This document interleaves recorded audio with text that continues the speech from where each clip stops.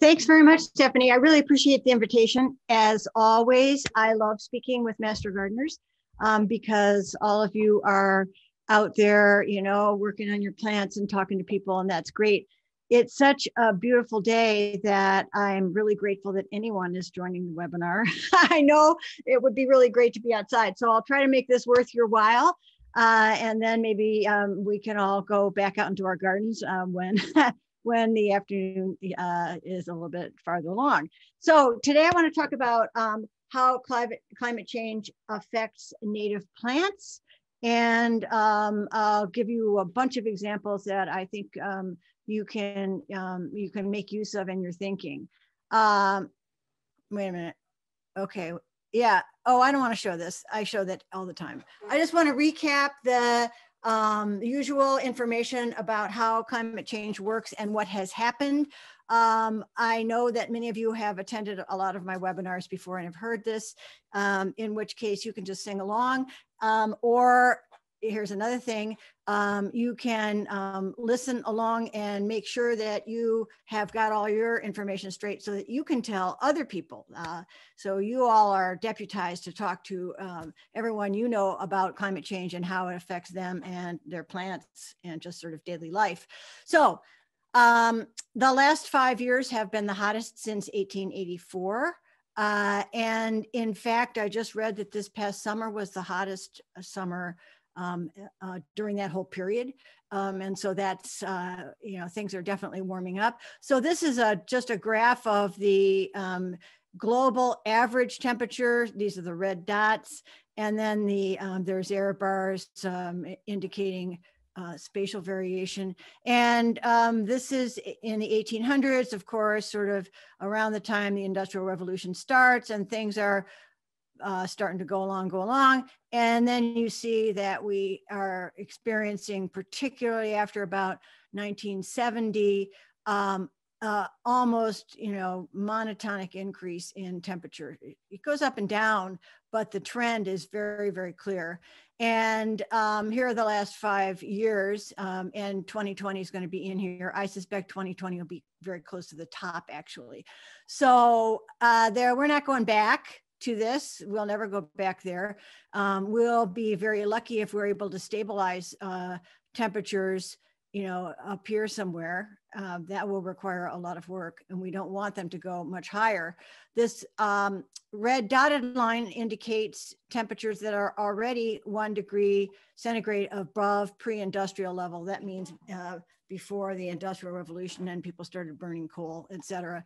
And um, you can see we're already above that, you know, uh, and that means it's really time to start taking more serious action so that we don't wind up, you know, uh, off the chart here somewhere with a really, really high temperature. So um, this this statistic blows me away all the time. 19 of the 20 hottest years have been since the year 2000, um, which basically is shown here. Uh, the last of the 20 years in the last 20 years is 1998.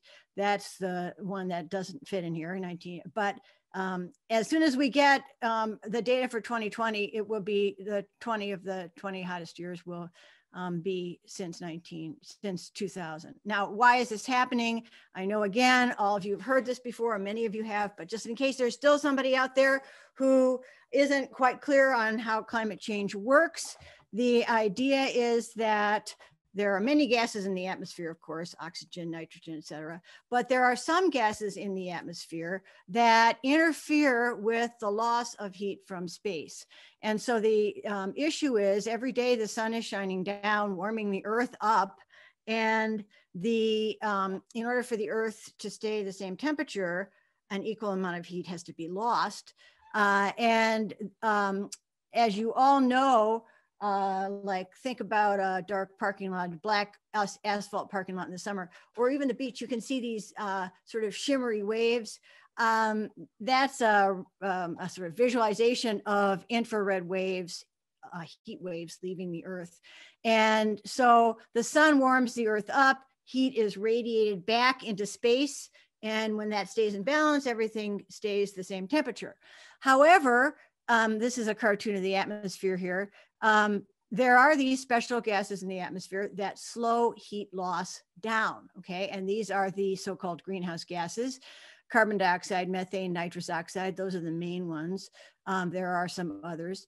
Um, and the issue is that as the infrared waves are making their way out into space, um, if they if an infrared wave collides with one of these greenhouse gas molecules, it's briefly absorbed and then it gets bounced off in some random direction. So sometimes like this, it'll bounce back to Earth. Maybe it'll bounce sort of in a direction towards Earth and then uh, uh, hit another one and bounce out. But the idea is that the more gas molecules, the more greenhouse gas molecules there are stuffed into this little thin atmosphere, which is only about five to seven miles thick. Okay. That might seem big, but on the scale of the whole Earth, it's like tissue paper. Um, the more greenhouse gas molecules are stuffed into this space, the slower the heat loss because there's more bouncing around of the infrared waves before they can uh, get through the atmosphere, which means that um, uh, as heat loss slows down, slows down, slows down, but the same amount of heat gain is coming all the time from the sun, then the atmosphere warms up. Okay. That's like it. And that's just a function of the sort of physical chemical properties of these molecules and their interactions with the gases. So it's like the laws of uh, the laws of chemistry and physics. And it's pretty hard to argue with that. Um, and if you've been paying attention to climate uh, uh, arguments about climate change, you will notice that you never hear anyone say that the greenhouse effect that's this does not work because it's you know the laws of chemistry and physics it's going to work. Um, okay so people ask me all the time how we know this is not just a natural cycle of um, increased temperature or increased carbon dioxide and um, again, I know a lot of you have seen this and you can just chant along here. Um, this is a somewhat complicated graph. It starts out here at the present, okay? And it goes backwards 800,000 years, um, which is about eight times as long as humans have been on the planet. So a really long time.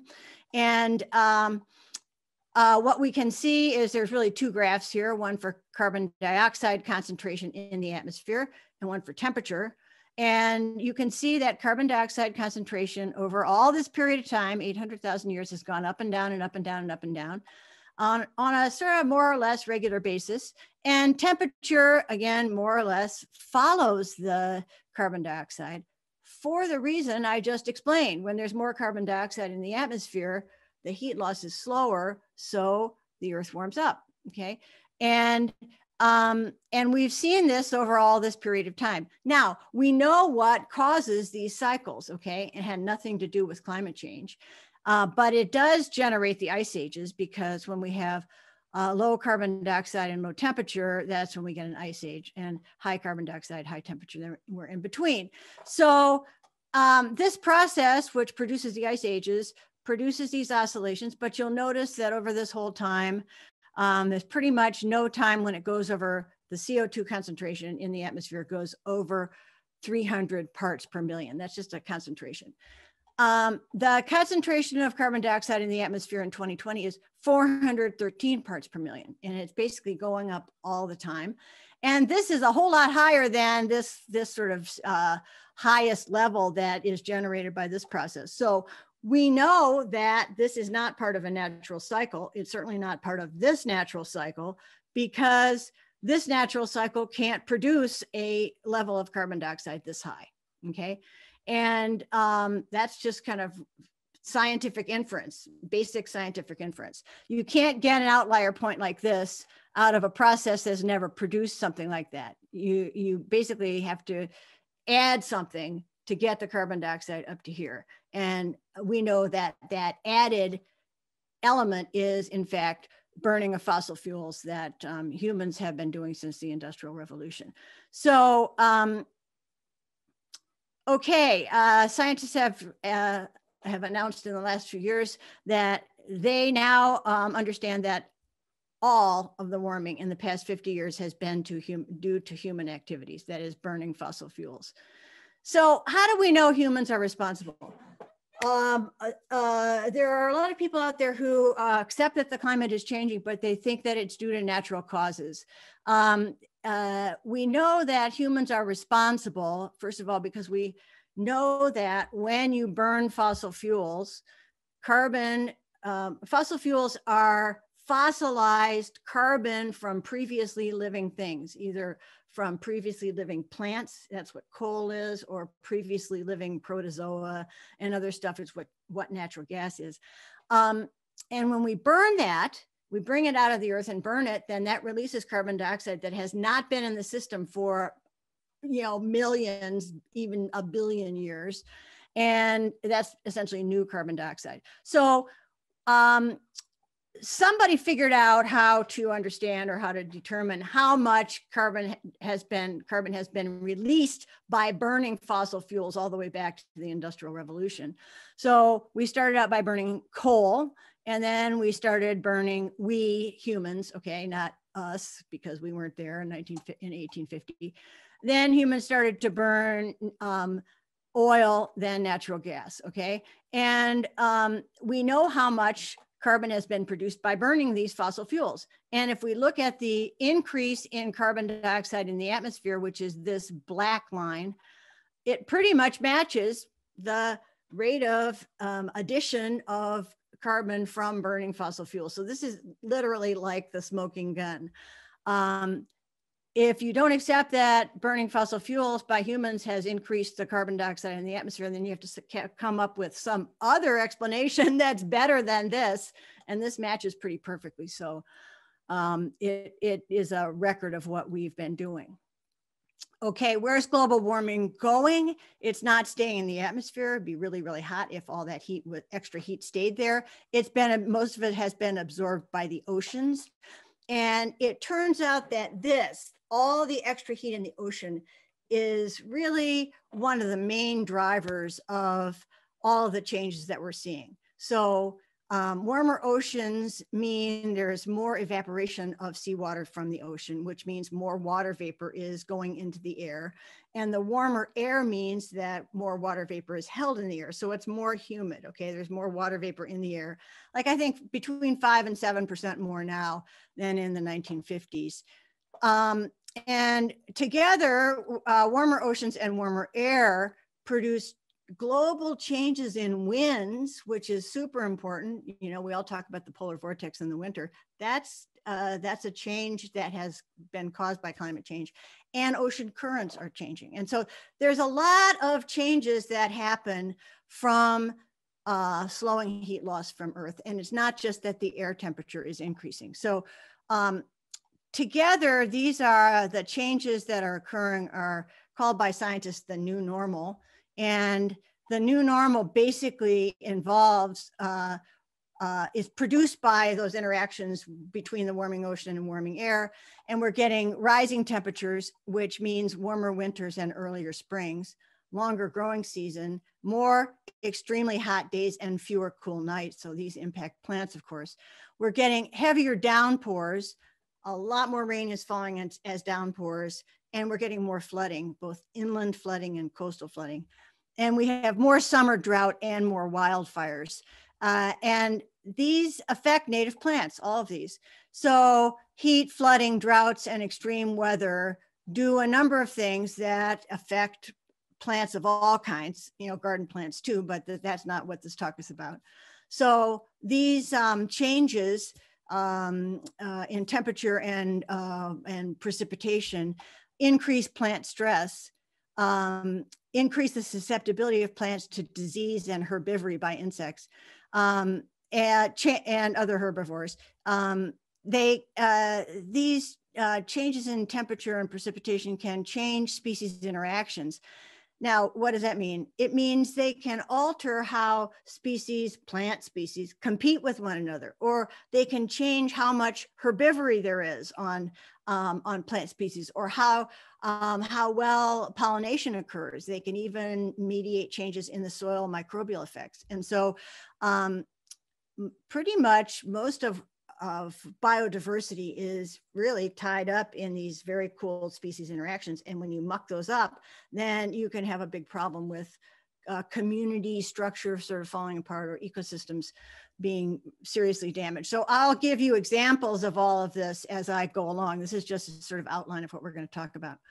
Um, these elements can change the availability of habitat, the suitability of the, of the habitat that a plant might find itself in.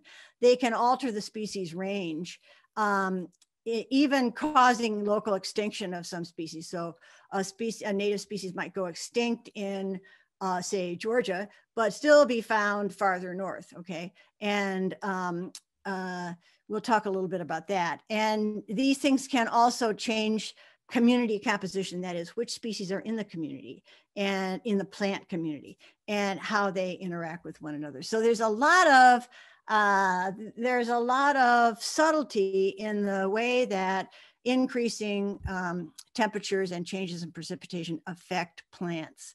Um, so uh, we'll start talking about temperature um, and first about the um, changes in the winter.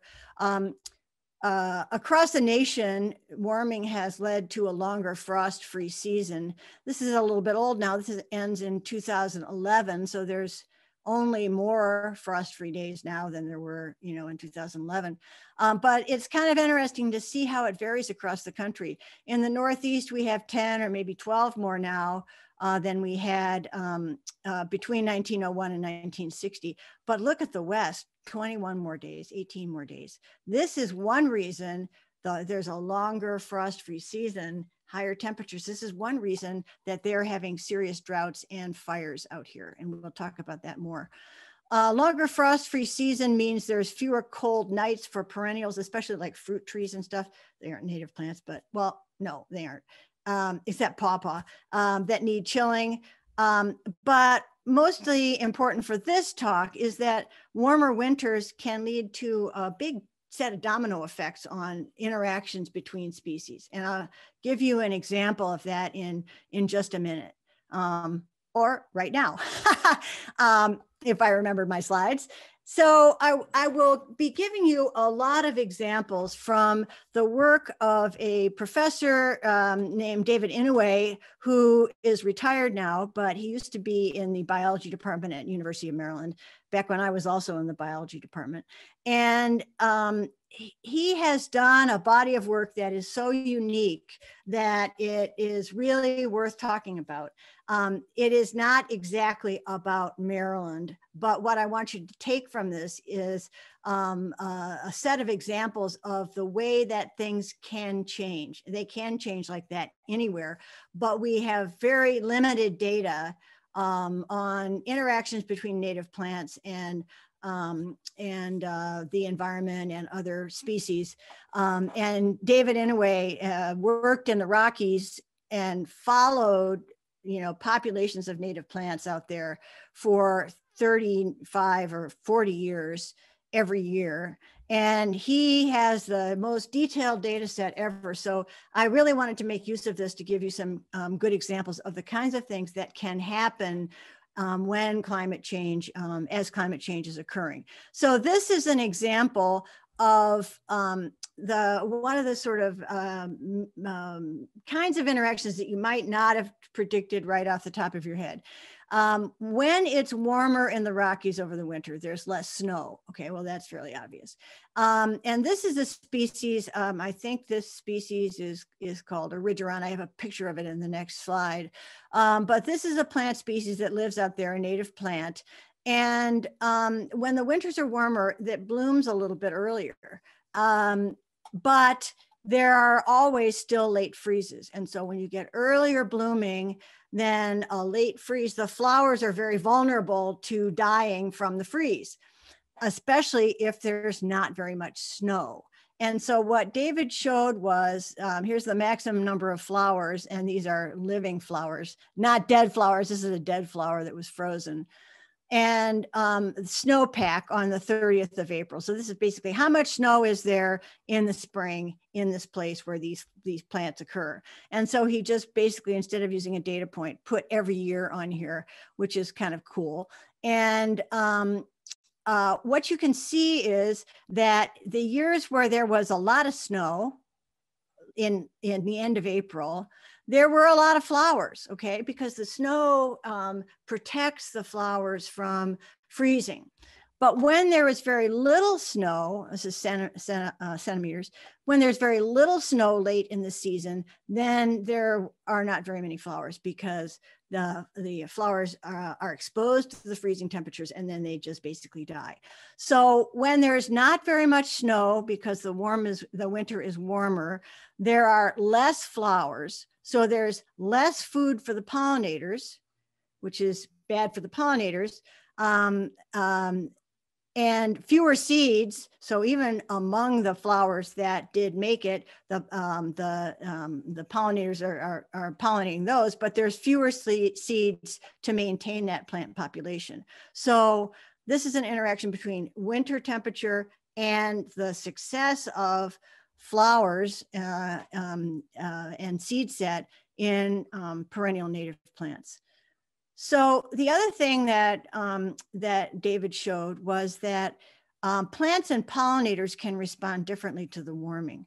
So um, many, many plants are flowering earlier as temperatures warm up, and I'll show you that in the next slide. But the pollinators are uh, operating under different cues.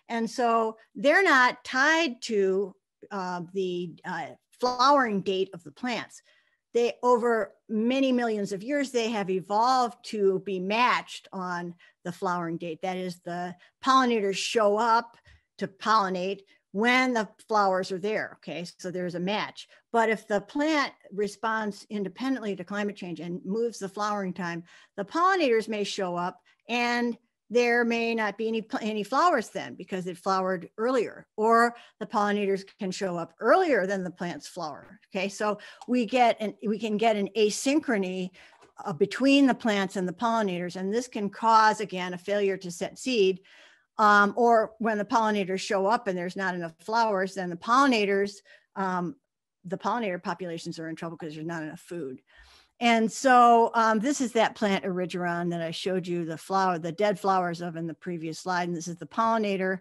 that um, David worked on. And then we've got hummingbird pollinator plants. And this is a hawk moth. These are beautiful moths and a delphinium. And I'll talk, talk to you in just a minute about um, some other issues with delphinium. But um, you know, we're so used to the plants and pollinators being around at the right time that we don't remember that this, this is the result of many, many millions of years of interactions between these two species that have tuned that timing so that it matches. Um, okay, so, oh, wait, this way. All right. So this is some more of David's work, and you're not meant to be able to read this, but he studied 69 native uh, plant species in the Rockies for 39 years. Okay. And so this graph is a little complicated and you don't really need to get anything except the general picture. This is the, this shows the phenological shift. That means the uh, shift in the phenology or the timing of key life history events, in this case, flowering, the shift in flowering time. And negative means earlier and positive means later. And so this is the baseline original flowering time um, at the beginning of the 39 year study. And each one of these lines uh, corresponds to a native plant. And there's uh, three symbols for each line, first flowering, peak flowering, latest flowering. You don't need to worry about all that. Just look at where these points are, okay? If you look down here, almost all the points are earlier. Okay, that's pretty much all I want you to see from this. 69 native species, most of them are flowering earlier. A couple of them are flowering later, okay? But in general, the native species have shifted earlier. Um, and this can have an important consequence to the life history and success of the plants because when plants flower earlier, they often are smaller okay? And that means that they may have fewer seeds or the seeds may be smaller um, and the seed you know the and either having fewer seeds or smaller seeds can affect the success of the plant population. This um, graph to me um, and all of david's work actually illustrates that long-term studies are absolutely essential. Because if you just went out to the rocky mountains for you know five years um, and tried to plot something like this, you'd never see anything because there's way too much variation and things happen. Although biologically speaking, things are happening at a rocket pace um, from our timetable. Five years is nothing, right?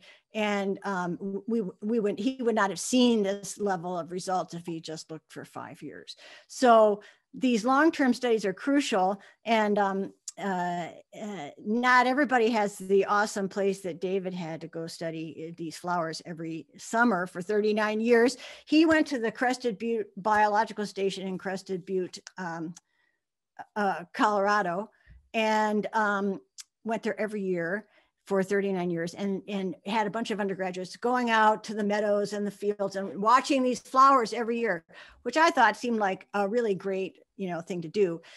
But very little funding is available for these kinds of long-term studies because people don't understand how important they are. So um, they're really crucial, and this is why. Um, another, I think this is the last example from David. Um, if any of you have been out to those Rocky Mountain meadows when these plants are blooming, it really is spectacular. This is Delphinium, Delphinium barbeyi. It's pollinated by the broad-tailed hummingbird and also by hawk moths. Um, and um, this is an example where uh, this plant flowers earlier, but there's still the always the possibility of a late frost. And when you get a late frost like this settles down on these blooms, then the blooms all die. So um, I have here unexpected cold snap. Actually, we don't know exactly what day a cold snap is going to happen, but when plants are flowering a month earlier, we know there's still going to be a hard frost sometime. Okay. And so, um, uh, if that cold snap happens at a vulnerable time like this, it'll kill all the flowers. Then, when the hummingbirds show up, no flowers. When the hawk moths show up, no flowers, right? So it's bad for the plant population because there's no seeds uh, but there's no food for the pollinators. So it's really bad for them too. And um, if this kind of uh, event happens year after year after year, then this plant pollinator interaction is going to break down. So even though, here's the bottom line for these slides, even though these slides are about the Rocky Mountains, um, this kind of breakdown in species interactions can happen anywhere. Okay. It's just that we have this documentation for this population. So this is highly relevant to everything that's going on in Maryland. Um, oh, I do want to just say also, I'll be sending um, a handout of the slides to Stephanie and she'll send you that when she sends the link to the recording. So those of you who are big note takers, um, you can relax a little bit because whatever's on these slides, you're going to receive um, in, in, a few days. So um, you can use that to, um, to sort of uh, complement your note taking.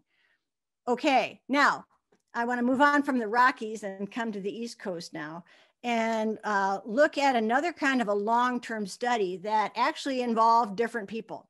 And um, this is a study of flowering time that was um, done in um, uh, Thoreau's wood around Walden Pond. Okay, we're all we're all familiar with Walden Pond, and the, this is a, of course a nice nice statue to Henry David Thoreau, big naturalist, and um, uh, it's very interesting that when Thoreau was alive, he monitored the flowering time of um, a group of species. Um, these are data that were excavated by um, um, um, this person, Dr. Richard Primack, who's a professor at um, Boston University. And he went back in the archives and got these data. And so he showed uh, in, in 1850, their sort of average flowering time of a group of species was the 15th of May. It turns out in 1900, another botanist, last name of Hosmer, I forgot the first name, um, looked at a few more species. I'm not sure how much, uh, whether these species are also represented in here, okay, but we're looking at the averages. And he found that the average flowering time in 1900 was about the 10th of May or maybe the 11th of May, okay? And then, you know, uh, in 2000, I think six or something, um, Richard Primack went out there and studied the flowering time of another group of species. And you can see that if you sort of look at this whole set of data, of course, there's nothing in between here, then if you just fit a line to these three points, uh, the averages, you'd see a decrease in flowering time, earlier flowering time. Some of these plants that Richard studied, you know, really changed their flowering time dramatically to way, way earlier. So um, this is kind of a cool um, example, again, of looking at historical data with present day data to capture changes that are subtle year to year, but very visible if you look over, in this case, 150 years. Um, now, oh yeah, Richard Primack also found that invasives flower earlier than natives. And this is kind of interesting because the invasive plants have uh, sort of responded to changes in, in, uh, in the climate more to, to a greater extent than the native plants. And so um, they're flowering even earlier than the natives. And you know that can have consequences because they're also breaking their dormancy earlier than the natives. Um, and as a matter of fact, here we are. Warmer winters favor invasives because they're surviving better than they were when the winters weren't as warm. Okay, like this stuff, which is around all the time now. Um, and they flower earlier even earlier than the natives, which gives them a competitive advantage over the natives because they come out of their, well, they never really go dormant. They, they are out there um, ready when the temperature warms up in the spring. They start growing, they start flowering, and they take up space and they use nutrients um, and water. And uh, that gives them a competitive advantage over the natives, which might not um, even start to push their leaves out for, you know, three weeks after these guys, and not just this species, but invasive species in general. Um, uh, the natives might come out much later than these invasives who have already commandeered a bunch of resources. So this is, um, you know, another sort of thing uh, uh, that gives inv invasive plants a benefit. Um, this is a picture that came from the U.S. Forest Service um, and um, it, part of their project of tracking invas- the presence of invasive plants in US forests. And the way that you look at this is they divided each state up into this looks like counties and then they have they divided the counties up into subplots. And then they just counted in a subplot or they just noted is are there invasive plants in this subplot? Okay i forget how big the subplots are but the key is either no data, so they don't know anything about what's going on here. But um, but the key is how many of the subplots have been invaded by invasive plants. So in other words, if they see one invasive plant or a hundred, they still score it. That subplot has an invasive plant in it. So um, the red colors, like you see along here um, and along here, um, are between 56 and 100%, basically. The dark, dark red, you know, here 100% of the subplots have invasive plants in them. Um, and then the lower, the greener colors um, are lower percentages. So less invasive plants um, along the coast, more it looks like in the sort of mountain areas. Um, but there's no question and you know you don't have to go very far even in your yard or the nearest place uh, the nearest bit of a sort of abandoned forest um, to see invasive plants all over the place. Um, and they're doing very very well in climate change. Um, this is an example of just one of these oriental bittersweet is a vine uh, that really takes over. This is not kudzu. This is oriental bitter, bittersweet but it does that same thing. It's like, oh yeah, I'm going to grow over everything. And this is a um, map. These are two maps from the climate um, change atlas from the Forest Service, which I'll talk about more in a, in a minute. Okay, here's the um, here's the URL um, for that. Um, and again, you're going to be getting this handout so you can copy the URL off of here. But this is the distribution of this now. These little dots means we, we um, there's a high probability of seeing um, Oriental bittersweet in these locations. And you sort of see um, uh, this looks like uh, I don't know what state in Massachusetts. Okay, um, I don't. It's a little unclear if that's the actual state boundary, but there's Cape Cod. So this is Massachusetts northward. Now, the climate atlas projects into the future if we continue along the same path of carbon emissions that we're on now. That is, we just keep doing what we're doing. We don't make any do any climate action. That's called business as usual.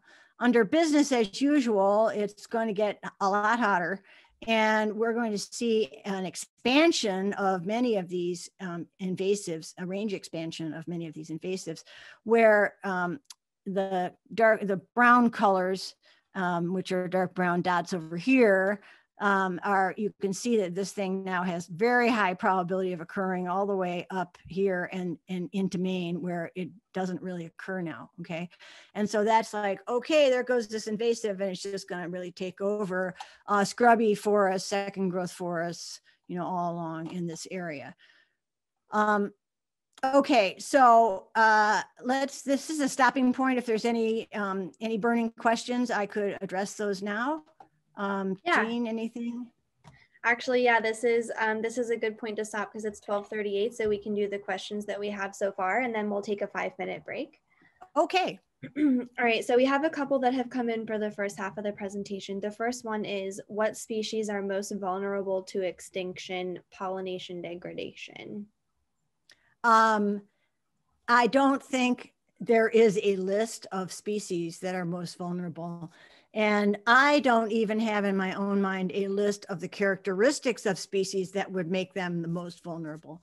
But I guess if you think about what we've talked about um, so far, like flowering time, um, native plants that don't adjust their flowering time earlier um, may be more vulnerable to extinction because um, uh, uh, they're not making use of the longer growing season um, then again, they might not get into a mismatch with their pollinators or their pollinators, they are on their own, you know, they're responding to climate change on their own. So it's hard to predict what's going to cause a mismatch. I don't think really very much research at all has been done on trying to determine the characteristics that make um, a plant vulnerable other than rarity. Rare plants are always more vulnerable to any kind of a change. So I'm sorry, I can't give you a little list on that. Sure, um, makes sense. Um, and a related question, are certain native genera better able to adapt to this shift in flowering time? I don't know that off the top of my head. Um, uh, I'm sure it's probably yet to be seen yeah. too, you know, a lot of research. I'm sorry? A lot of research I think is, I'm sure coming on this, it seems a little early to have this figured out. Yeah, well, there are, um, you know, there are a number of websites on um, adaptations in native plants, and um, uh, a lot of people are worried about um, it becoming too hot or something in a mm-hmm. particular location, and then uh, uh, favoring the ability to migrate. It's hard for plants to migrate, right? An individual plant, plant can't migrate. Pollen can move, seeds can move, but the rate of movement demanded to keep up with the climate change. Just think of the way the um, uh, uh, hardiness zones are moving northward. Okay, so uh, for a plant to remain successful, it, it, has to sort of be able to stay in its uh, zone, right? And if it moves, you know, if the hardiness zones are moving northward, then the plants um, the ranges of the plants need to be adjusted also. And so a lot of people are arguing about whether, well, should we do assisted migration? That is, you know, dig up plants and move them northwards. It's always risky to mess with nature because it's a lot more complicated than anybody thinks. And you start moving plants around and you can get into a lot of trouble because yeah, communities absolutely. and ecosystems are really complicated. So, um, uh, so still lots to learn in that area. Yep. All right. So the next question is the increase in number of frost-free days is compared to 1901 to 1960. How does the mini ice age of the early 1900s affect that? The mini ice age? The mini ice age of the early 1900s. I'm not familiar with the mini ice age of the early 1900s. Um, we can go back if there's time after um, we can go back and look at that initial graph I had of the temperatures. Um, I don't remember any big dips in temperature. Um, there is a little bump in temperatures in the 40s, but that's due to something different. So we can revisit that, but I'm not, I will just say right now, I don't know.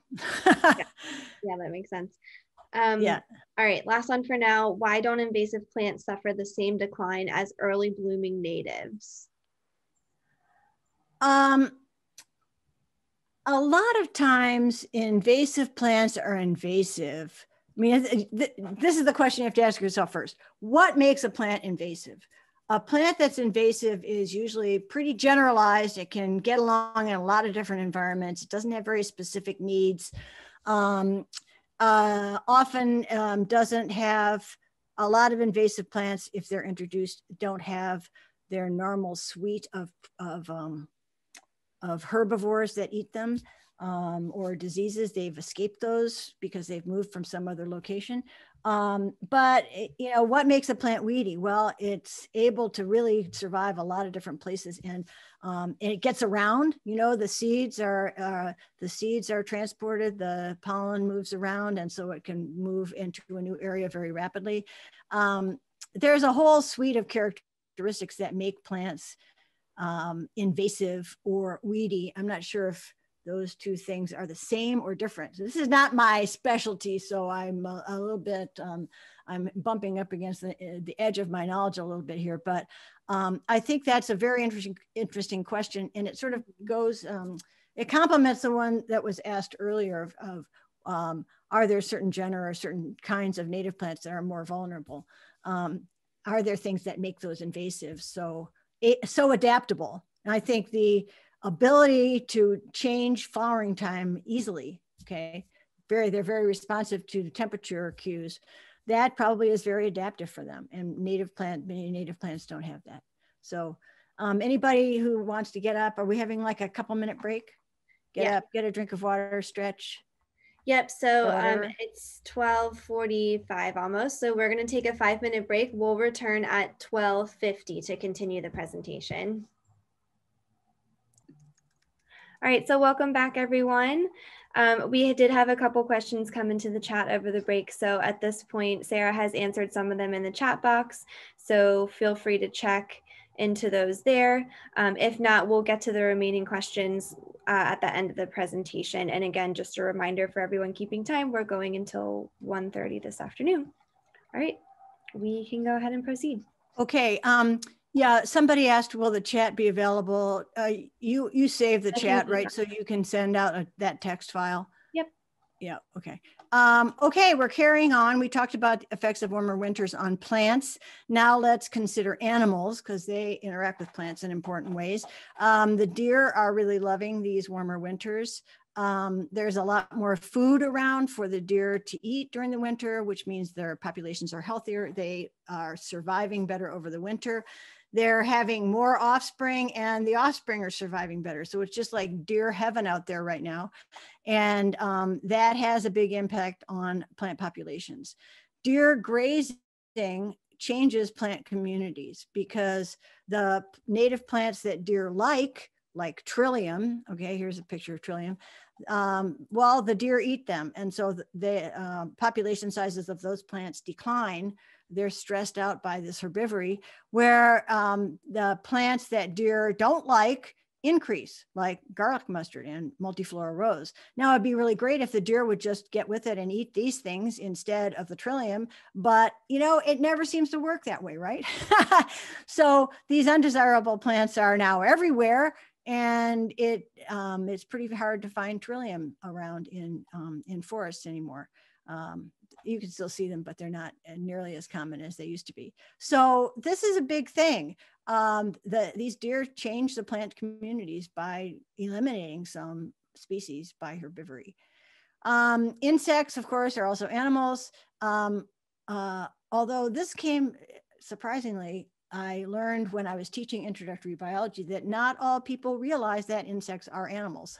Um, this came as a surprise to some of my students. Um, anyway, insects are animals. They are also having better overwinter survival. They are coming out of dormancy earlier in the spring. Um, and that means, you know, they have a longer frost-free season too. And um, some insects can add an extra generation um, if there is enough, you know, time at the um, at the end of the season. Um, so um, uh, a lot of caterpillars do this.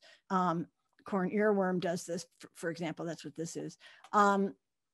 Uh, the first generation comes out earlier. They, you know, the caterpillars do eat their eat themselves into uh, oblivion and form their pupae, and then the adults come out, and it might still be, you know, early August or something, even July. And so, in many places, there um, uh, insects that can do this are adding another generation, which just means more insects. Um, but the thing I want to really discuss in detail for native plants is the issue of range expansion um, of, of insects and how that affects native plants. Um, there's two really terrible examples. Um, the first one I'm going to tell you about is on the East Coast, um, and it's been um, assisted by warmer winters. Um, the hemlock woolly adelgid was introduced in 1951 um, in Northern Virginia somewhere. And um, you can see, I cut off part of this picture, but um, this these are yearly sort of um, diagrams of the ranges, you know, color around where they're found. And you can see basically that the ranges are expanding.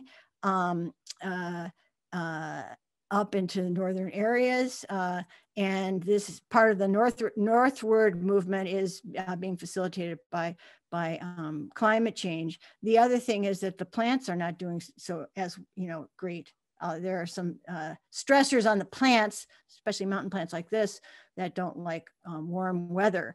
Um, and so um, before the hemlock woolly adelgid, these hemlock forests looked like this. They were just beautiful and thick and tons of plants.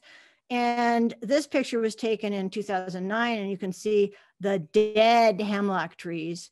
And these are dead because of the attacks or infestation of these little teeny critters. Okay, so here's a hemlock branch, and they call this, um, these little guys are like aphids. They're similar to aphids, but they're not exactly aphids, but they they have sucking mouth parts. They pierce the plant and they suck the phloem out like aphids do, and they call them woolly because they cover themselves with this white waxy stuff, which looks eh, to some people like wool. Okay, it of course is not wool; it's wax, and they hide in there. Okay, so that's sort of a protective coating, and you can tell that a hemlock has them because they're all gathered on these uh, ribs and covered up with their little woolly, their little woolly waxy stuff. which protects them from predators. And these things are tiny, but there are a lot of them. And they glom onto these trees and then just basically suck the phloem out of them until they die. And um, this picture shows not, not only the expanding range of these um, uh, hemlock woolly adelgids, but the range of the hemlocks that's in gray, okay? So they're a, cool weather plant only found in the mountains down here, up into Maine, northern Michigan, northern Wisconsin. And I think you can be pretty sure that the hemlock woolly adelgid is basically gonna fill up this territory. And um, it's gonna be bad news for the hemlock. So um, if you haven't seen hemlocks recently, you should make an effort to go see some because they're not doing very well in Maryland. Um, the other really tragic um, story of native plants and insect range expansions, of course, is the mountain pine beetle out in the west. Um, this is a, a, old map, well, from 2008, of um, where mountain pine beetle used to be. They used to be restricted to more southern. This is the west, right? California, um, uh, I think that's Colorado. I don't know, Western states. Here we are. And um, they were confined down here because it was too cold for them to move northward. But as it warmed up, they were able to move north, um, maybe in part because they came along a coastal range like this, but on other um, conifers. But then they were able to move north and infest conifers, Douglas fir, and other things up here in um, in um, British Columbia, Canada. So these guys, again, small but mighty. Here's a pencil, right? Here's the size of one of the adults.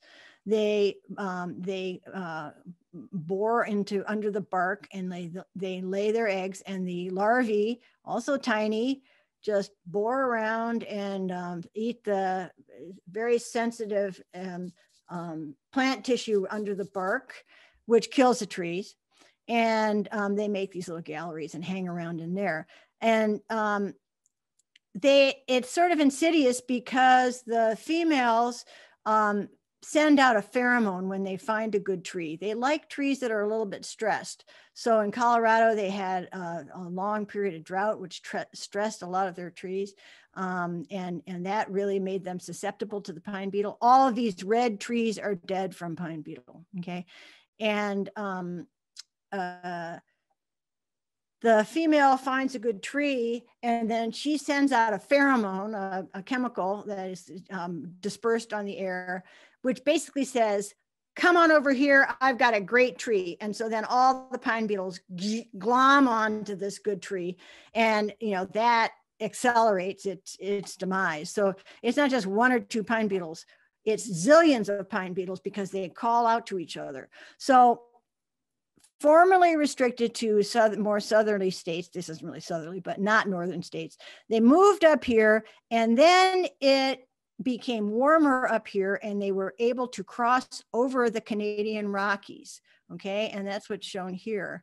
Um, they were uh, eating lodgepole pine. Here's some uh, up the coast, Douglas fir, other things. Uh, and they crossed the Rockies because it was warm enough that they could, during the winter, that they could survive that. And then they shifted, the mountain pine beetles shifted onto another species of pine, jack pine. Lodgepole pine is not found all the way across Canada. Jack pine is found all the way across Canada. And so where are the mountain pine beetles? boop, boop, boop, boop, they're coming, coming eastward. And they're going to meet up with the southern pine beetles, which are expanding their range from down here up through Maryland. We've already had trouble with some southern pine beetles up here, and then they're gonna they're gonna be both mountain pine beetles and southern pine beetles up here. So this is not good. Okay, um, it takes a long time to grow these big forests, but not very long to destroy them. Okay, um, so uh, yeah, the mountain pine beetles also contributed to a sort of three pronged disaster. Um, well, they didn't contribute to the drought, but they were part of this big disaster in, in Colorado uh, between 2012 and 2013. There was a gigantic drought in the Midwest and, um, and Colorado um, in 2012 and a lot of trees were stressed and then killed by mountain pine beetle. So we had a lot of those dead trees that I showed you in the earlier um, slide were killed by mountain pine beetle. And it's very dry because there's a drought. So there was a lot of fire in Colorado in 2013. Okay, now those fires look like peanuts compared to what we're seeing in California now, but still a very big deal. A lot of Calif Colorado was burned and then heavy rains came. Well, there were no more big trees because it was all the landscape was burned, no understory. And so rain came down on the mountains and went zipping downhill and um, in September of 2013 and flooded Boulder, Colorado seriously. And there was bridges out and muds all mud all over the place. It was a big disaster. This is what I call the drought fire flood syndrome aggravated by insect herbivory in this case. Um, so it's all these unusual stressors kind of coming together to make a bad situation. I'm going to talk more about fire in, um, in a few minutes. Regular old heat stress from rising summer temperatures is also very hard on plants. Um, heat reduces growth rate because when um, plants are photosynthesizing, they have little openings on the underside of the leaves called stomates, and these things open up and allow carbon dioxide to come in, which is used in photosynthesis, and oxygen to go out. But when they're open, water vapor also goes out. Now that's the source of cool, the, one of the sources of cooling effects of trees is the water vapor that's coming out, the transpiration. But when it's very hot, the plants close those things up because the plants lose too much water and so they're not photosynthesizing as much so they don't grow as fast okay um, and and they do that to um, decrease the water loss, which would be higher if they didn't do it. Okay. So um, every single stage of plants is, is negatively impacted by heat. heat is really hard on forest trees. It, uh, they you know, don't grow as much for exactly the reason I just said. They're stressed out, which makes them, as I'll show you in a minute, more susceptible to pathogens, et cetera. And the large trees die first, okay? And that is a, a, kind of demographic tragedy because large trees take a really long time to grow. Um, and when they die, they're very hard to replace. Okay. Um, when trees get stressed, they are uh, fair game for insects and pathogens because stressed plants cannot produce the chemical, secondary chemical compounds that, that protect them from in many cases from herbivory or disease. So this is an example of, I think this is an oak, oak tree that was, you know, standing here in the middle of this grassy area looking really great until boom, it fell over. And um, when you look in the inside, it was completely rotten because it had this armillaria root rot. Um, and uh, so even though it looked fine on the outside, it was in really bad shape inside from being more susceptible due to stress. Okay, let's talk about the California wildfires. This has been, this is a terrible situation, okay? And 2020 is not the first year of the wildfires, but you know, they've had drought out there almost every year. I think they've had a few non-drought years, but almost every year for like the last 10 or more years, years and years of drought, higher summer temperatures, longer growing season, which means longer fire season. So the fire season in the West has now ex, uh, extended two months more than it was uh, in the 1950s. Two months more of fire season, which means a lot more potential for fire. This year's been particularly terrible. Four million acres have been burned. 31 people died. I mean, countless billions of dollars in damage because where do people like to build their houses? Next to trees, okay? Like they also like to build their houses next to coastlines. Those are the two most dangerous places from climate change. Coastlines, you get hit by hurricanes and sea level rise, et cetera. And if you build your house near the forest, you're going to get hit by, you know, landslides or uh, wildfire. So this is something that's going to come up a lot because insurers are not going to pay to rebuild, rebuild, rebuild um, homes that get destroyed repeatedly by fire or um, hurricanes. Now, what are the impacts of this kind of fire on plants? Um, this is a kind of geeky science picture, so uh, it, you don't need to look too carefully at the graphs if the, if you, you don't like graphs. But I'll just tell you what they show. Um, this graph shows that between 1980 and 2015, um, this is the average water deficit. Okay, so higher means more drought. Okay, lower means less drought.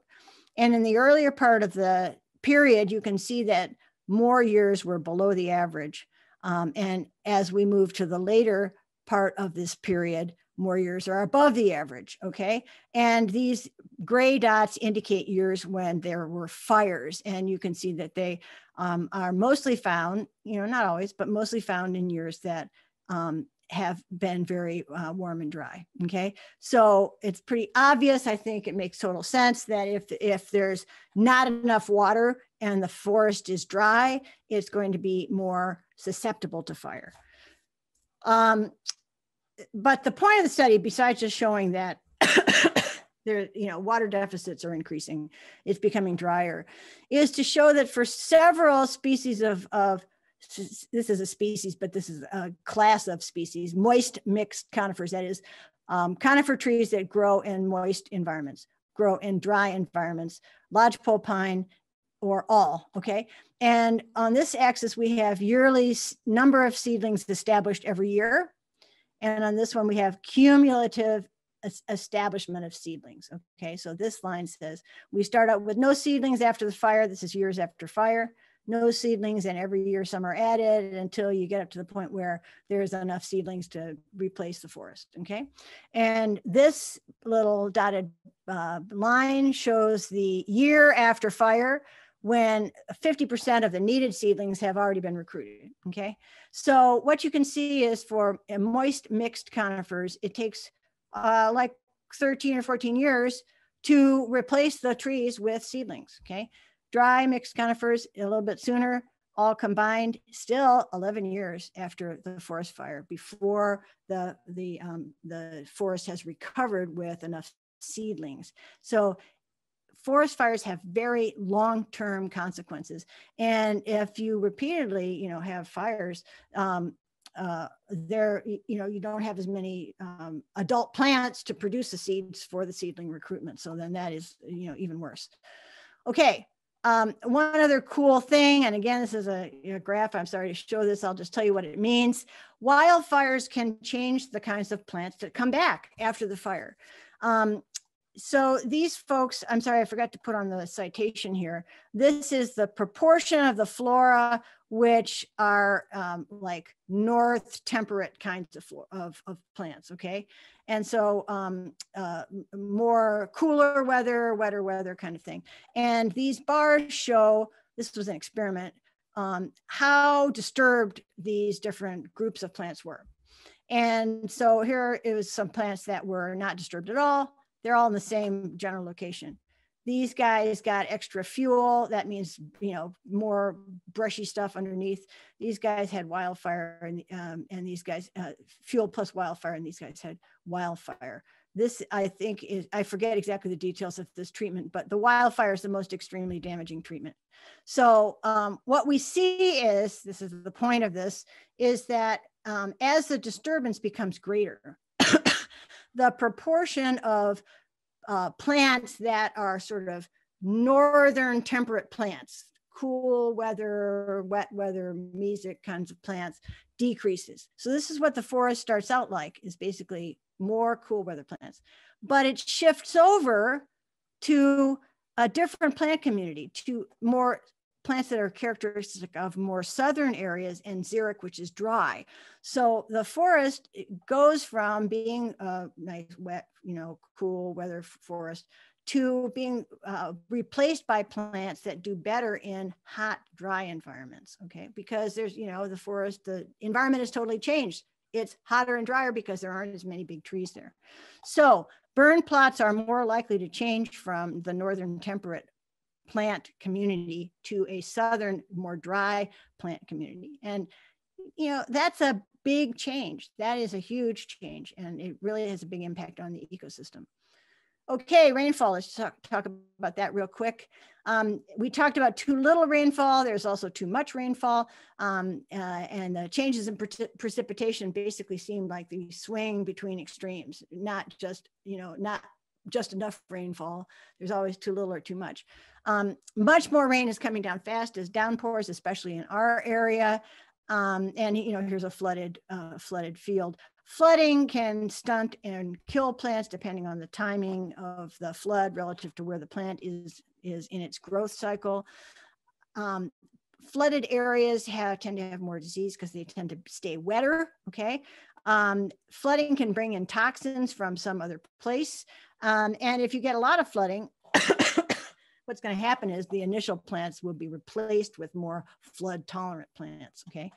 Um, and those plants were added, the flood tolerant plants were not there in the first place because they were outcompeted by the plants that were better suited to this environment. But if it becomes flooded very frequently, the original plants are no longer suited to that environment and they get replaced by different plants that are do better when they're frequently flooded.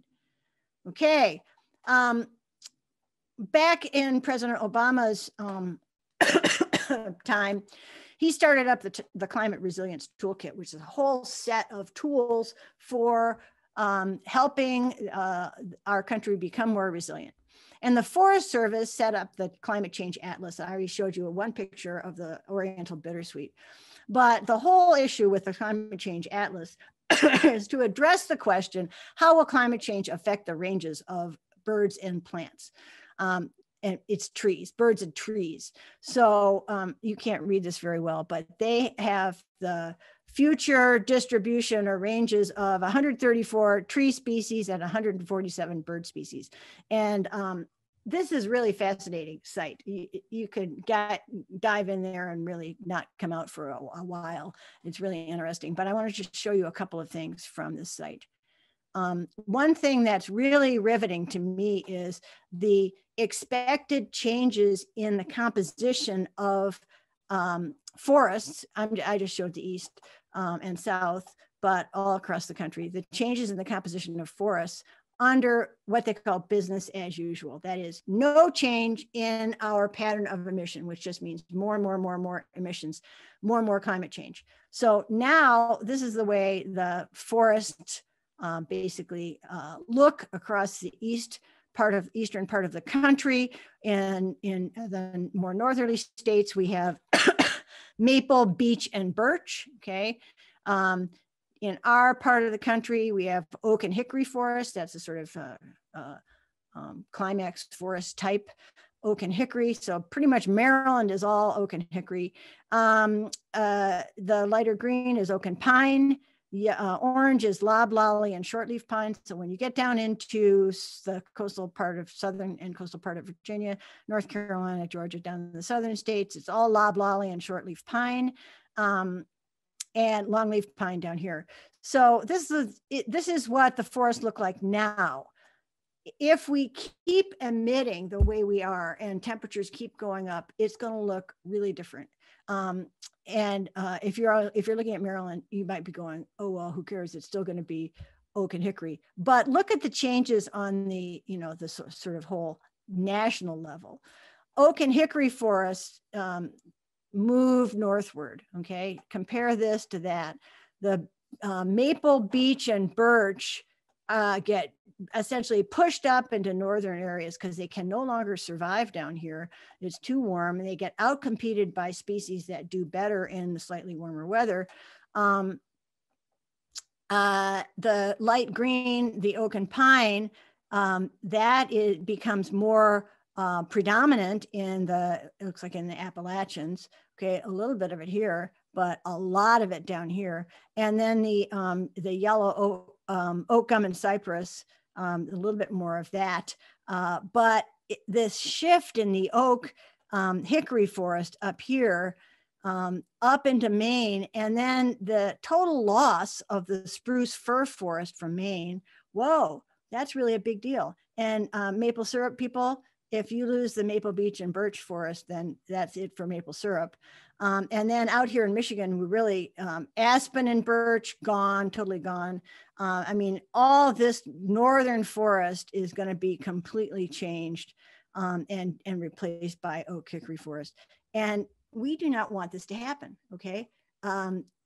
This will happen in a world which is very hot and we don't want that world because it's going to have a lot of other bad impacts. This is not going to be a life threatening impact but there will be some um, life threatening impacts um, but it'll have a big impact on the forest. Uh, the climate change atlas i just picked out a couple of species to illustrate if we look at our area. Some species like chestnut oak the darker colors mean more prevalent um, so there's some chestnut oaks in, in Maryland. Um, if we keep going on our high emission pathway, there won't be any more chestnut oak in, in Maryland. Even low emissions, if we keep going, it's going to be higher than where we are now. Um, the chestnut oak is going to be moving out. But the post oak, which is not very common now in Maryland, will become increasingly common, even under the low emissions pathway. I need to stress the low emissions pathway is the best we're going to do now. We're not going to be able to keep it the way it was. We already missed that. We're not going to be able to keep it the way it is right now, even though it's worse than the way it was. It's going to be hotter, even under the most stringent emission control, because we already missed a lot of our chance to control emissions. So the low emissions pathway, um, we're going to have more post oak, but the high emissions, and this is the one that was pictured in the previous slide, post oak is going to go way up there. So I suspect that that is a part of this takeover of the um, maple beech and birch by oaks, that the post oak is really going to be um, increasing. So there's a lot of examples like this in the in the climate change tree atlas. These are based on models, of course, but the people who do models aren't stupid and um, they calibrate their models. So I, I would I I think this kind of thing, projection into the future is quite reliable. Um, okay. Um, this is an interesting study that a person at the Chicago Botanical Garden did. And again, this is it's not because I'm so interested in Chicago, but just because someone actually asked a question and did a study that is important for every area. And that is which species, tree species, will survive in Chicago under climate change? Well, you can ask the same question in your yard. What tree species should I plant now if I want you know my grandchildren to be seeing the tree um, 50 years from now 75 years from now? You may be your great grandchildren um, this person found uh, studied all the trees that were found in the in um, near near chicago. So cook county is where chicago is located. So they looked at some surrounding counties. And uh, light green indicates that the the tree is present and doing well okay? Um, and they contrast this person contrasted the uh, projections projected future of autumn gold ginkgo and introduced tree with the american linden. Now they're both doing great. Uh, if you look at uh, well this is what that was before 2020 this was done about 20 i think 2010 or even earlier. So 2020 was a projection uh, in this study and the projection was that the american linden was going to be doing worse because it's getting warmer 2050 much worse. Okay, darker brown means bad. So um, the change is minus about 40% and minus about 80% here. The ginkgo doing okay. Okay, a little bit less, a little bit of a reduction, 11% reduction. Um, so if, if uh, the result of this study suggests that if you were comparing between these two species to plant in Chicago and you want the tree to be there in 2080, that you better not pick American linden he found that 20% of the species in the study, I forget how many were in the study, won't be around in 2050. 20%. And 80% won't be able to survive the conditions in 2080. So 80% of the species that now live in these counties will not be around in 2080 if we continue to allow climate change to proceed. So um, I know a lot of forestry people are working on um, identifying uh, forest trees for um, new plantings of forests um, that will be able to survive in higher temperatures. And so the forestry people are thinking about that. I don't know if there's a lot of, um, of uh, um, um, you know, already knowledge about which varieties are, are good. I just happened to glance over at the chat and saw Allison uh, Milligan um, reminded people um, this is not a reason to plant in the invasive species ginkgo, okay? Um, this is an illustration that actually illustrates two things. We don't have a lot of, um, it illustrates that these two species, one of which is native and one of which is introduced, are gonna have very different fates. In fact, 80% of the species are gonna have this fate. Um, we, I don't know right now whether the 20% that will be still be around in 2080 are tend to be introduced or not. That is not on this picture and I don't remember it. So um, the point is, I'm not telling you to plant ginkgo trees uh, for uh, climate adaptation. Um, thank you, Allison. Okay.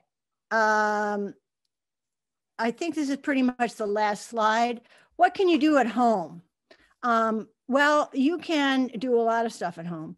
Um, I, I know most of, of the people in the audience are already out there planting native herbaceous plants, that is non-woody plants for pollinators, et cetera. Um, but it's very useful to plant as many trees as you can on your property. Um, and uh, um, when you do plant perennial, uh, when you do plant, you know, uh, showy flowered plants, um, to emphasize um, perennial and native herbaceous plants, okay? Um, instead of going to Home Depot and buying annuals every year and putting them around, okay? That's like the most climate unfriendly thing you can do in terms of flowers. Um, it's better to put out those perennials, which I, as a lazy person, adore because you know you're you're just going along through the winter and then without any effort on your part all of a sudden there's all these plants in bloom and you didn't do anything. So except to just you know keep them safe. Um, when you plant trees, this this picture and this this uh, suggestion list is from a really good book called The Climate Conscious Gardener, which um, it came out of the, I'm looking over here, I think, in fact, I just saw this earlier today. Here it is on my bookcase, The Climate Conscious Gardener, and it's from the Brooklyn Botanic Garden. This is a great book, really great. It, it is uh, helps you with um, all aspects of your home landscape. And it's like, I don't know, 12 bucks or something on Amazon. It's from the Brooklyn Botanic Garden. Um, uh, but this, um, this list of tips is if you are interested in um, storing carbon in the soil of your home landscape. Uh, and um, of course, planting trees um, does a lot of things. It cools your, it co can cool your home. And um, uh, if you plant a, an edible landscape like this with different layers, um, I, I don't, I don't, are these pears? I don't know what. There's not very many native fruit bearing things, but maybe you could plant pawpaws, they're sort of shrubs. Um, and then you can, you know, plant in different layers like this. This is kind of the permaculture deal. Um, but uh, the idea is that you can improve your soil and um, make use of plants' ability to yank carbon dioxide out of the atmosphere and store it in soil. And you can do that in your own yard um, by planting more trees and following these kinds of guidelines. Um, plant more trees and shrubs where you can, choose large um, at, at, maturity, large uh, trees and long-lived species that have dense wood. Um, I can tell you from my own experience, don't plant a bunch of tulip poplars. My house is surrounded by tulip poplars and limbs fall down all the time. It's very soft. They grow fast, but they're really terrible. Um, although they are the host plant for some very nice butterflies. Um, uh, grow regionally hardy and, and uh, sort of site appropriate trees. Um, native plants are more adaptable. Avoid high maintenance um, uh, species, plant a diverse mix. So this is just all good stuff that you learn as master gardeners anyway.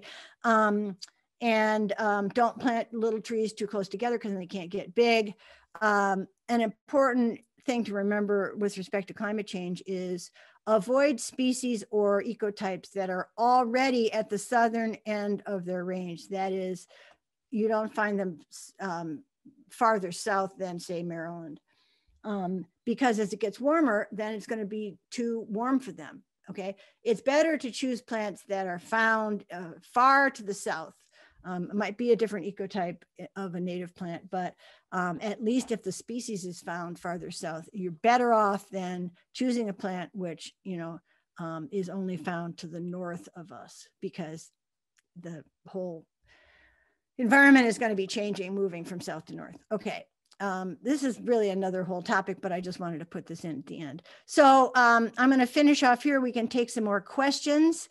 Um, and as always, if you if something occurs to you, feel free to email me um, anytime. And um, I, I have started to get uh, just a ridiculous number of emails, and so occasionally I do sort of lose one. If if you email me and I don't get back to you, just email me again. I don't mind that because um, uh, I, I have I'm having a hard time with my system of keeping everything organized so that I am responding to, in a timely way to everyone.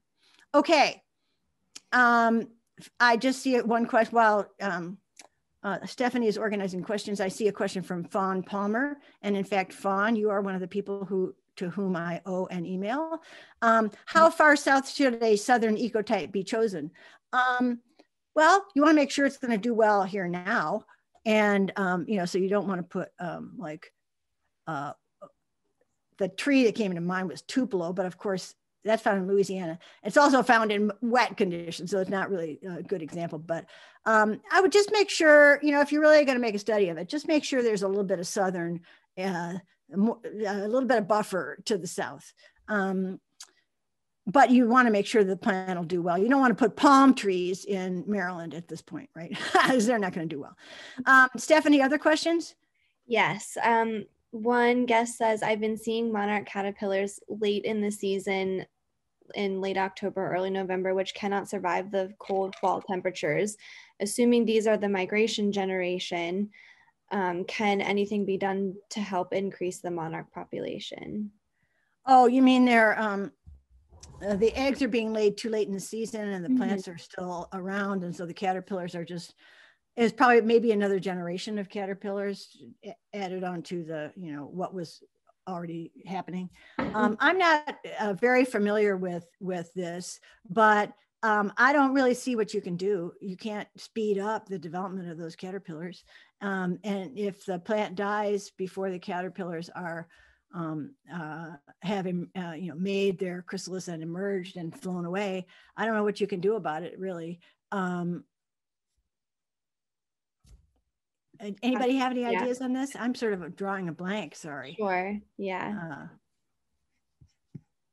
I think that makes sense. You know, you can support them as much as you can while they're here and while it is the appropriate season for them, obviously by using native plants and milkweed, but also nectar plants for the adult butterflies. Yeah. But yeah, as far as the cold temperatures, I mean, that's kind of they're just out of whack. If they're on a if they're on a, you know, uh, if they're out there as a second or third instar caterpillar right now, um, I don't know how long it takes them to grow up and get out of here, but you know, they're probably going to freeze before they finish their development. That's because it just, you know, everything's out of whack. You know, the typical egg laying period has been extended, and now we get caterpillars that are live, you know, too small to yeah. make it through their life cycle. Mm-hmm. Yeah. Um, the next question is Do the wildfires kill the invasive animals? Invasive animals. Invasive animals like like what? Not Rodents? Sure. What? I don't know. I, I don't know. Uh, perhaps they could be referring to some of the insects that we talked about. um, I'm sorry, what? Maybe they could be referring to some of the insect pests that we talked about. Oh, um, yeah, I'm sure a lot of insects get incinerated in for- forest fires.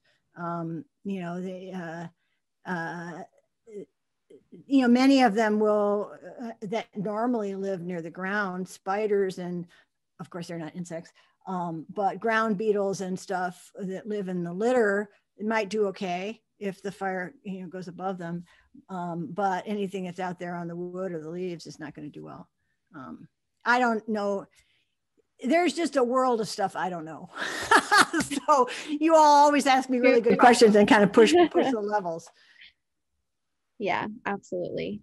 Okay, great. So there's a couple other comments in the chat, but there were no other questions. Um, oh no one just came in and of course we are gonna we'll make the text from the chat accessible so you guys can have the answers to the questions and also the link so don't worry about that um let's see I worry that temperatures are getting warmer, but also more variable. Planting more southern trees may expose them to cold snaps. Any thoughts on that? Yeah. Um, well, uh, the whole issue of warmer springs, like really warm weather in February, and uh, which causes uh, trees and shrubs and and other, and you know herbaceous plants to break dormancy and start to grow and flower.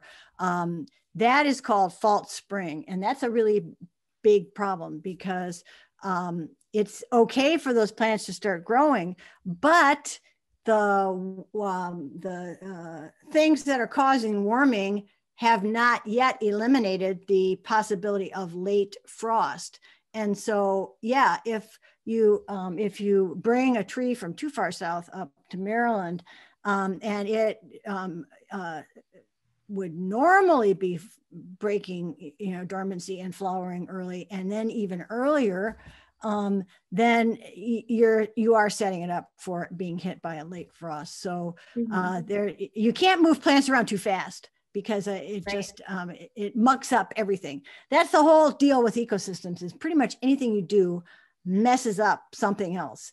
And it's very hard to know a, uh, uh, any action that will not be disruptive. Um, right. So I, I did see a comment on the chat about bringing monarchs onto your porch and trying to, you know, sort of encourage them along.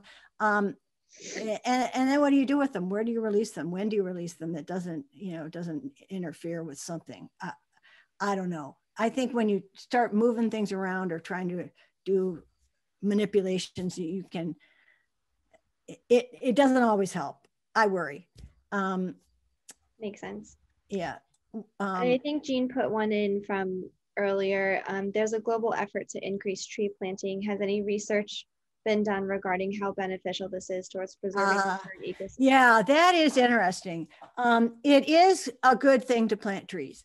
However, um, you know, the whole idea that we can plant a trillion trees and plant our way out of climate change is a complete fabrication. Okay. It's just not enough. It's not going to happen. And the same thing with storing carbon in the soil through better agricultural practices. Totally a good thing to do, can totally help, but it will not solve the problem. It is not a license to continue business as usual. Mm-hmm. And um, when I read, you know, in the political airwaves about people who want to plant a trillion trees, it's just like, hey, okay, we'll plant a trillion trees. Okay, where are you going to plant these trees? That's the problem. We're going to plant a trillion trees and then everything's going to be okay. We can still, you know, frack gas and do all the other stuff that we're doing. No, that doesn't work like that. So I think you have to be a little cautious about claims that are made about planting trees or sequestering carbon that that will get us out of the climate problem. We need to do a whole array of stuff. Mm-hmm. No one or two things is going to be enough. Absolutely. And if you're interested in that, you can come to one of my En-ROADS workshops. En-ROADS is a climate simulator where you get to say, I want to see how much difference in future climate change it's going to make if I plant a trillion trees, or if I do sequester carbon, or if I put a big tax on frack gas, or you know something else. It's really illuminating. Um, and so, if you have a favorite thing, electric cars, you know how much difference do they make? Um, uh, email me and get on my mailing list, and I'll I'll let you know when I'm giving one of these workshops. Uh, Jean just put the link into the chat box so that everyone has access to it. Jean is on top of it. He always is. yeah. Um, yeah. The climate simulator is available to everyone, and they're really interested in getting people um, trained to offer workshops in in this uh, to bring it out to more people. So I did this training over the summer. It's like an eight week training thing, um, and I will be offering some of these workshops. So if you're interested, just email me and I'll put you on my list. Um, that's really great. Um, awesome.